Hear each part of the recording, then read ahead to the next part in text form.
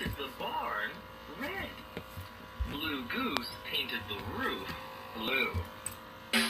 Blue Goose and Red Hen poured blue and red together to paint the doors purple. Red Hen helped Yellow